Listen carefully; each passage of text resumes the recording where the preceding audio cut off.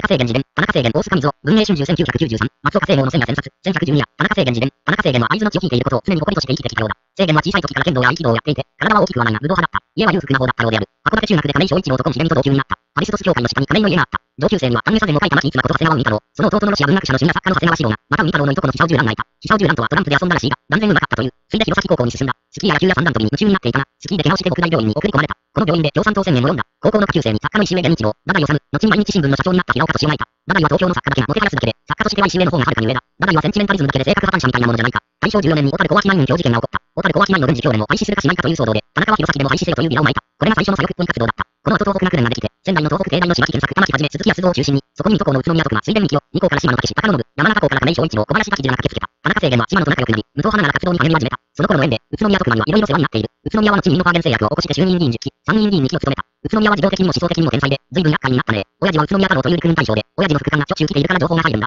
日中友好協会なんかは彼のお金ですよ。その後、津軽のシャビキ村という農村でシャビキ農民組合をあわやはるか村や大沢久明と一緒に作った。あわやはあわやのりこのおじさんだった。当時の共産党は福本イズム一色になりつつあった。大正15年、1926、12月の山形県五色温泉で開かれた日本共産党再建大会で、福本和夫は中央政治部長になり、それまでの山川仁の山川イズムを一掃していた。しかし福本イズムは関連論だった。あれがどれだけ日本の労働運動や無産運動を丸くしてしまったか。翌年、ソ連のコミンテルンから27年程度が発表されて、これが共産党の再建方針になった。福本イズムをどう洗い流していくかということである。この前後に田中は亀井正一郎と共に東大の美学に入った。同時に東大新人会に入った。新人会は吉野作造の指導のもとに麻生者宮崎達が作った思想運動体で、そこに親総一がいた。大家は桁外れにスケールの大きな男だった。平凡者の下中三郎から前金をもらってアラビアンナイトの翻訳を引き受けていた。制限は親にも世話になったので、後に親文庫設立の時に拠出金を出した。東大に入って間もなく田中制限は共産党に入党していた。昭和2年である。コードネーム、すなわちパルタイナーメ、かっこ党員名は山岡哲夫、山岡哲州に賞、かっこあやかった。一方では空手部に入って、月とけでデブトを鍛えた。実力はわからないが、その後、名誉8番をもらっている。田中制限は27年程度直後の共産党の立て直しに、真剣に取り組んだ。第三地区担当のオルブで、東京委員会のメンバーだった。野別京浜工業地帯に出向いて、オルブ活動をしていた。そこへ3.15事件、4.16事件が連打されて党員や審判が大量検挙された。党は壊滅的になり、佐野博と田中制限が再建ビューローを作り、これを全国規模にするための画策に乗り出した。昭和5年、和歌山の二力浜で日本共産党再建大会が開かれた。これをきっかけに、コミンテルンの国際連絡機関のオムシのルートを使って、人員資金情報収集を始めた。オムシはその頃の共産党の秘密活動の謎を解くにはキーになっていたルートである。田中自身も上海に入り、コミンテルン局長部長のカール・ダンソンの協力を仰いだりした。野坂三蔵をモスクワに送り、事態を改善させようともした。が、野坂はウラジオストックで検挙されてしまった。ところがこの時野坂は自分の保身のために、野坂の権威を晴らすべくモスクワからウラジオストックに飛んできた山本健村をスターリン一派に売ったようだった。問題はそれなんだよ。野坂はそういう人間だ。共産党ってそんなもんだ。共産主義者になったから人格が向上するなんて、そんなことはありえない。もっと悪くなりやがる。こうした紆余曲折に奔走している時、とんでもないことが起こる。昭和5年、1932月に和歌浦で共産党中央部と関係が激しく打ち合った和歌浦事件が勃発したのだが、その直後、制限の母親が自決をしてしまったのである。すでに母親はお前がカモンを傷つけたら、お前を改心させるために私は腹を切るとちゃんと申し渡してあったらしい。まさかと鷹をくくっていたのだが、母親は本気で腹を切って死んだ。よりたけな母だった。遺書にお前のような共産主義者を出して、神に愛すまない。お国の皆さんと先祖に対して自分は責任がある。また早く死んだお前の父親に対しても責任がある。自分は死をもっていさめる。お前は良き日本人になってくれ。私の死を虚しくするな。我がこのための監視であった。その年の7月14日、初期長になっていた田中制限は、チャンニ事項で逮捕された。コスメ刑務所の獄中にいると、母親の監視が重くのしかかってきた。そこへ党委員長の佐野学と鍋山貞夫が転校声明を出した。田中制限が町内で一番ぐらついた時である。一体自分は何をしてきたかと反問した。何かが割り切れないのに、ここまで突っ走ったのだ。その割り切れなさをとことん追求していくと、モスクワから指令されてくる共産主義が体に受け付けられないのだと気がついた。特にスターリンの方針が根ぜられない。反問が続く中、昭和7年、コミンテルンから30年程度の追い打ちをかけてきた。スターリンは日本の極左冒険主義を批判し、むしろ天皇制を廃止させることで日本権力の力を弱める方針を出してきた。ここにおいて田中制限はついに転校を決意する。牧中転校であり、しかも天皇主義者への転校という劇的な改心だった。私自身が考えたのは、結局のところ、マルクス主義が西洋合理主義の申し子であり、その西洋合理主義は一神論のキリスト教とギリシャ文明を母体にした混合造形であるということでした。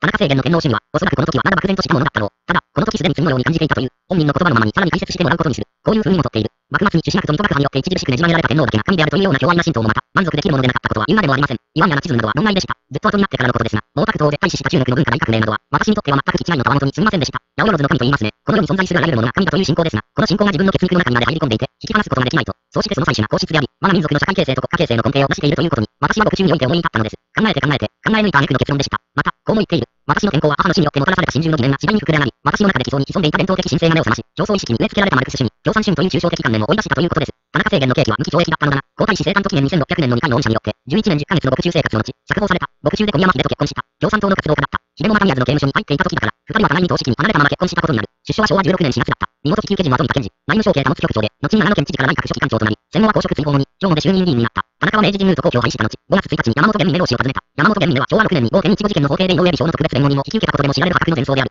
刑務所で法話をしたことがあって、それが制限の心に残っていたようだ。田中が出所の、真っ先に訪れていたのはこの老師だったのである。紹介者は決命弾事件に連座した内本義孝。後に右翼の大物となった。6月、田中制限は決心の上に島の立川寺に赴き、現にメロ氏に主導させていただきたいと頼み込んだ。自分の本当のルーツを発見して、マルクス主義やカンナラの道などという共愛で一神教的な道ではない。自分の本当に進むべき道を発見したいと頼んだんです。すかさだ、かっこ、飯炊きからの指導がこうして始まった。老子から学んだことは相当にあったようだが、制限は次第に活殺時代を覚悟するようになっている。時代は太平洋戦争のただ中である。次第に情勢が厳しくなっていた。和平工作も始まった。誰が軍部を抑えるかが話題になっていた。立川寺には現に目の押しを誓って多くの人志が出入りした。鈴木貫太郎、米井光政、吉田茂、安倍義成、伊沢滝夫、岡田圭介、迫水久常、岩波茂たちで、その多くが軍部の強引に反対の立場を取っていた。老子はわしの部屋は乗り合い船じゃ。村のばあさんも小敷も大臣も共産党もやってくると言っていた。老子は谷中のマサニアンでも座禅を組んだり講和をしていた。マサニアンは山岡鉄州の武教徒である。そこにも政治から軍人や企業からやってきていた。三井の池田重明や時中の慰霊賞祭りの虎はそこを訪れていた。迫水久常は東条秀樹が老子に相かなっていると言ってきたが、老子はその必要はないと断った。田中政権は次第に老子の秘書役のようなことを仰せつかることになり、要人との接触の友を務めていく。用心棒を兼ねていた。代理を頼まれる時もある。両親寺の現在法司官長への用事を頼まれた時は、時に田中さん、今一番肝心なことは、我々一党を挙げて自分の心の中にある米英を打つことですよと官長が言ったので、あ、このクソ坊主と思った。用事を詰めずに退散した。こっちは心の中に日本があったり米英があったりするような、そんな理屈があってたまるかという気持ちでしたね。昭和20年1月15日、老子は老八施設審で今日の公安は日本をどうするかやと意表をついた。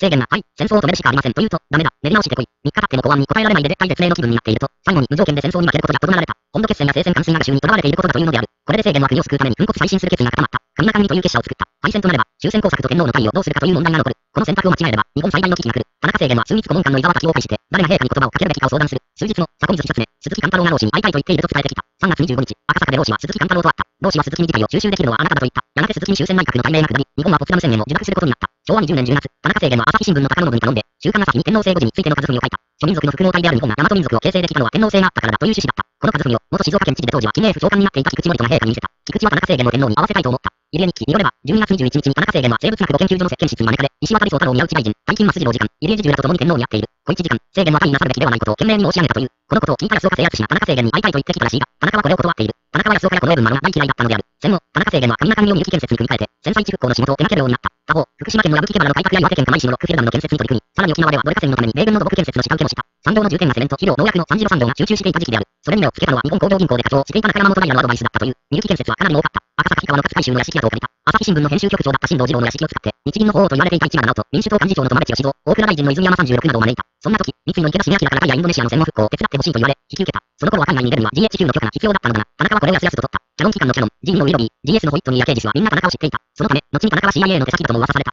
いろいろ取材が来ましたよ。俺が CIA 程度の手先であってたまるかいと言って、みんな追い返してやった。逆に田中によれば、GHQ のアーモンド参謀長に朝鮮戦争を予言した時は、彼らは信じなかったというくらいだったという。田中は朝鮮戦争も、三鷹事件、松川事件も、ソ連の策動だったという推理なのである。日本はサンフランシスコ講和条約を結び、自衛隊を持ち、高度成長を遂げるようになった。世界は冷戦状態で、ソ連は相変わらずアジア支配と極東戦略を組み立てていた。日本共産党と日本の左翼はまだソ連のイデオロギーを盲信していた。時代は昭和35年、1960になっていた。60年安保闘争が盛り上がってきた。岸信介は時間が拡大すれば自衛隊を導入しようと考えていた。ある時小島博が田中のところへやってきた。全学年指導部で、後に中曽根康弘の平和研究所の所員になった男で、全学年委員長の島茂に会ってほしいという。田中は島から反スターリン主義の運動思想のこと、自衛隊導入時の対策、次期委員長に函館出身の加納寺健太郎を推したいということなどを聞いていて、この連中を応援しようと思った。反のように反モスクワ、反アメリカが気に入った。田中の秘書だった藤本勇が日大空手部のキャプテンだったので、武闘闘争のイロハも伝授したらしい。一体どれくらい資金提供したのかはわからない。機会あるたび、財布を叩いてやっていましたよ。まあいいんじゃないですか。それはそれで、こうした田中の動きが気に入らなかったのが、自民党の福田徳康や右翼の児玉義雄だった。児玉は岸政権を強化するためにあらゆる手を打っていた。河野一郎もその先棒を担いでいた。児玉は党は同友会を組織して、山口民の田岡和夫や林房を使って田中怪獣の手を打ってきたが、田中はこれに応じない。昭和38年、1963、田中が高谷悟村の出版記念パーティーのため東京会館に赴いた時、田中は玄関で撃たれた。同性会の木下睦夫がピストルを発射したのだが、マスコミは山口民の東京進出を阻止する暴力団構想だと書いた。が、明らかに児玉の指金だった。銃弾は3発が田中を禁止にしていた。救急車で運ばれて、聖路加病院の牧野 A 氏が10時間にわたる手術で助けた。牧野は後の院長で、ウィスコンシン大学病院で6年間にピストルで撃たれた患者を数百人手術していた。田中制限が田岡和夫と仲が良かったのは事実のようだ。もともとは田中の妹引き受け人だった富田健二が、佐藤軍事という横浜で海運業をやっていた男を紹介したことが始まりで、その佐藤が京浜一帯の沖中市の総元締めで大家分だった藤木幸太郎を紹介した。戦後の京浜地区は鶴見の埋め立てを巡って構想が激しく、陸を仕切っていた土建道松尾民の松尾海門と、海を仕切っていた藤木が対抗していた。日本の海運動はこの後藤木によって、海運動者の集団を日本海運協会に、従業員の集団を日本海運協同組合にしたことが基礎になる。藤木はこの海運協会の会長に田岡を持ってこようとするのだが、田岡は誇示した。この時田岡は政治的なことは田中制限さんのような人に任せ、自分はヤクザの方を取り仕切ると決めたらしい。ここで二人のコンビが成立したようだ。この時児玉義雄が党は同友会によって全国の右翼と博打打ちを大休能する計画が動いていて、二人はこれに立ち向かうことになる。すでに右翼の一部とヤクザは麻薬を財源にしていたので、二人はこれを標的に麻薬追放国土浄化連盟を作り、菅原同日に山岡総八、福田高村市川房を立ててキャンペーンに入った。マスコミは山口に全国制覇のための巧妙なカムフラージュと書き立てた。が、田中は反論している。これだけ麻薬がはびこったのは、警察とジャーナリズムと、そして政治家の責任だと言いたい。世の中に悪いことをやっているのは5万通ります。暴力団にも警察官にもおる。しかし一番許せないのは政治家だ。竹下、金丸、小沢と、こういう連中に牛耳られた自民党の国会議員は、一体どうなんだ田中制限は長らく右翼の大物とみなされてきたが、本書による限りはそういう痕跡は少ない。田中自身は、私が本当に尊敬している右翼は立花幸三郎と三上拓だけだという。特に児玉義雄には敵をむき出しにする。赤帯が野村明介は相手にしていない。最も田中に近かったのは四本義孝で、みゆき建設を譲っている。四本に譲った方がいいと言ったのは松永康左衛門だったようで、そこに間にが絡んでみゆき建設のバランスシートをクリアさせた。それにしても田中制限には意外な人物が内外を問わず親しく関わった。夫フォンハプスブルク代行やフリードリッヒ・ハイエクもその一人である。夫公は戦前に婚姻継承権を放棄して、反ファシズムを表明し、戦後は欧州統合運動の推進役となった。田中直投稿と接する。ことになったのは、空伝報復カレルギー、第632夜参照と鹿島森之助に、池田重明が聞き合わせたのがきっかけになったようだな。本書では詳細はわからない。ハイエクには投稿から紹介された。田中は投稿に進められて、モンテルランソサエティのメンバーになっていた。自由主義運動の思想母体のためのソサエティで、その基本思想にハイエクの霊俗への道などが使われていた。ハイエクは社会主義とケインズ経済学の両方に呵責のない批判を加えていて、そこが田中を共感させたようである。特に人為的な信用によって一時的に景気を上昇させても、それによって起こる。相対的な価格体系の混乱はやがて景気を反転させる。という思想に共感していた。ハイエクがノーベル賞を受賞した時、メインテーブルに招かれたのは日本人は田中制限だけだった。田中は来日したハイエクを伊豆の自宅に招き、奈良に付き添って投稿の合算定数のところを訪れている。そのハイエクと今西金次が出会った時も、田中は同席していた。今西の住み分けるのは、田中がこれは政治や社会に適応できるのではないかと考えていた理論だったようだ。ハイエク教授と共に、来日したフリードリッチハイエク教授と共に、本書は、田中がどのように石油買い付けの裏側で動いていたかということについても、かなり聞き込んでいる。70年代、日本はオイルショックと石油に含まれるサルファ、かっこ、硫黄、ニロル大気汚染で困り果てていた。オイルショックは経済問題だったが、資源としてのサルファの少ない石油をどのように確保するかが大問題だった。インドネシア産の石油が白物と言ってサルファが少ないことが分かった。それなら生書きもできる。しかし日本に油田を持たせないというのが石油メジャーの方針である。インドネシアとは、すでに岸信介、河野一郎らがスカルノと組んで利権を得ようとしていた。田中はハンスカルノハンスハルト将軍と組もうと考えた。そこでナンバー2のアラム社中将やその義兄のヘルミのルートを使って、ブルタミナ、かっこインドネシア国営石油会社の石油を日本に売ってくれと頼んだ。受け入れ母体として何か作らなければならない。どこと塩谷中山本平に相談したら、トヨタジパンの神谷翔太郎がいいというので、ジャパンインドネシアオイルという会社を設立した。通産大臣の田中角栄は最初は渋ったな。あんたを支えているのは、両角義彦人事官、かっこ官民協調派でオイルショックを切り抜けた通産官僚、徳永圭一秘書官、かっこ後の日本列島改造論の実質執筆者の一人くらいで、周りはこのままだと岸一派にやられると言ったところ、よっしゃ、分かったと言ってくれた。ついで、アラム社中将がクウェートの国王の叔父に当たる副首相を紹介してくれた。が、田中はクウェートは相手にしにくいと踏んで、副首相が推薦したアブダビのシェイクザイド首相に接触した。シェイクザイドはアブダビだけでなく同一種族のドバイ、アジマン、シャルジャ、ウーアル台湾、フジャイラ、ラスアルハイマ、オマーンなどの湾岸一族を共同体として考えていて、そこが田中の血を見らせた。これらのオマーンを除いてアラブ首長国連邦となった。この後、日本はアブダビの海上油田開発に参加する。田中角栄が首相になってからは、北海油田の開発参加権利を巡って動いた。日本が北海油田に参加して開発して採取した石油をアメリカに渡す代わりに、アラスカのノースポール油田と BP、ブリティッシュペトロリアムとエクソンが掘っている油田に日本を参加させろというスワップ方式の提案だった。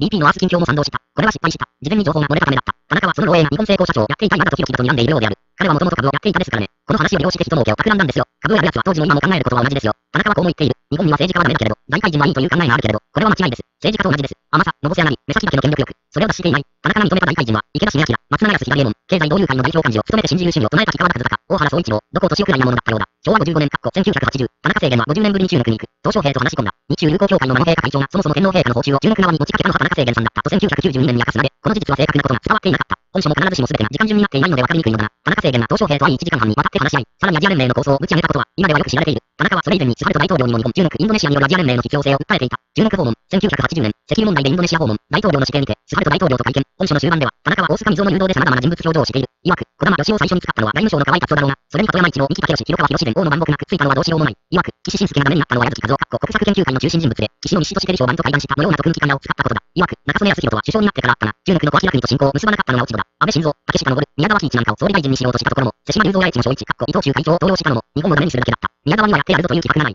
曰く、伊藤政には首相の腕を見せてほしかった。後藤田正治には特に魅力を感じないが、応援演説ではアジアに関心がある限りは応援すると言った。曰く、テレビ多様の選挙で大衆的人気さえあれば、誰でもいいなんて時代では日本は良くならない。曰く、日本はあと50年アメリカと組んでいくなどと言っている小沢一郎のような考え方と正面から解決していくべきだ。曰く、靖国神社に政治家が退去して参拝するのはとんでもないことだ。まして天皇陛下の参拝を強制するなんてのは愚の骨頂だ。俺は断固反対だ。この問題ははっきりしている。こういうことは遠慮しくなく叩かねばいけません。最後に田中さんは右翼だと思っていましたがと尋ねられると、こう答えた。あんた、なんだと聞かれたら、本物の右翼だとはっきり言いますよ。右翼の元祖のように言われるつもりはまにすると、左翼の家元のように言われる中江町民が、個人的には実に深い信仰を結んだことをご存知ですか一つの思想、根源を極めると、立場を超えて響き合うものが生まれるんです。中途半端で、ああだ、こうだと言っている人間に限って、人を排除したり、自分たちだけでちんまりと固まった。りする。また、こう、続けた。政治家なら国になりきる。油屋なら油田になりきる。医者ならバクテリアになりきる。それが神の境地であり、仏の境地だと、この時田中制限は88歳だった。今は何に関心がありますかと問われて、田中は即座に言っている。今最も知りた。いことは、ビッグバンがこの世に本当に存在した。のかどうかということです。もう一つは遺伝子工学に関することです。と、最後に猿学者の河合正夫の話をして、どうも人間だけが生物界と異なることをしているのが気になってしょうがないと考え込んだ。今回は、田中制限についての記事でした。YouTube ひじくろチャンネル、また次回。